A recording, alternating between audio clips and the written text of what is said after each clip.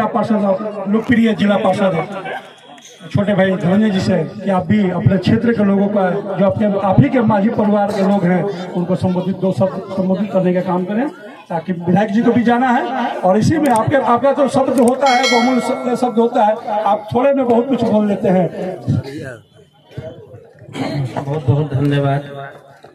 मंच पे उपस्थित आदरणीय अभिभावक विधायक सुदामा प्रसाद जी, आप लोग के लोकप्रिय मुखिया जो पंद्रह वर्षों तक लगातार आप लोगों की सेवा किए, बड़े भाई उपेंद्र सिंह जी, और हमारे बीच में उपस्थित गोठौला पंचायत के लोकप्रिय मुखिया, जिनको आप लोगों ने फिर एक बार से अपनी सेवा का अवसर दिया हुआ है, भाई संजय यादव जी, आप लोगों के बीच में उपस्थित लोजपा के जिलाध्यक्ष और सरजिया पंचायत के बहुत बार प्रतिनिधित्व करने वाले पूर्व मुखिया बड़े भाई राजेश्वर पासवान जी, आप लोगों के बीच में थाने से उपस्थित अधिकारी महोदय, आप लोगों के बीच में मंच पे हसनपुरा पंचायत के पैक्स अध्यक्ष महोदय और सारे भाई हमारे संतोष यादव जी, ब्रह्मदेव यादव जी, अनिल यादव जी, चंदन यादव जी, त्यागी जी और सारे साथीगण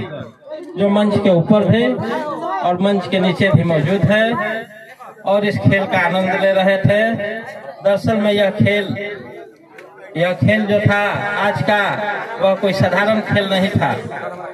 वह एक प्रयास था कि कैसे समाज में जो सबसे पीछे छूट गए हैं वैसे लोगों को समाज के मुख्य धारा के साथ जोड़ना है। कैसे उन लोगों के नौजवानों को शिक्षा के साथ, कैसे उन लोगों के नौजवानों को स्वास्थ्य के साथ, कैसे उन लोगों के नौजवानों को खेल के साथ और दुनिया की तमाम चीज़ों के साथ। जिन चीज़ों से आपका समाज आगे जाएगा, उन सारी चीज़ों से जोड़ने का एक प्रयास है और सारे अभिभावक हम उपस्थित हैं और सारे लोग दिल से बहुत सारे अपने कार्यक्रम छोड़ करके विधायक जी या जो भी यहाँ अतिथिगण है, सभी लोगों ने कहा कि हम लोग लगातार आप लोगों के उत्साह वर्धन के लिए, आप लोगों के प्रोत्साहन के लिए, आप लोगों के बीच में अपना अधिकाधिक समय और जगहों का समय काट कर भी दिया। दूसरी बात है कि मैं आपका प्रतिनिधि भी हूँ, आपका भाई भी हूँ और बराबर आपके सुख दुख में पाँच साल से। बराबर आप लोगों के बीच में हमने संघर्ष करने का काम किया है, चाहे वह कोरोना का समय हो, चाहे वह कोई भी समय हो।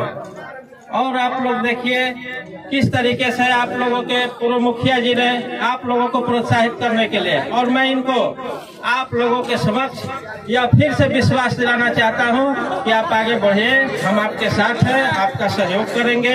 आप जो समाज में लोग पीछे छूट गए हैं, उनको आगे लाने का काम कीजिए। हम लोग सभी लोग कंधा से कंधा मिला करके काम करेंगे और बाकी सारे विकास की बातें भी आप लोगों के बीच में होंगी। इसके लिए बहुत समय है। बहुत बहुत धन्यवाद।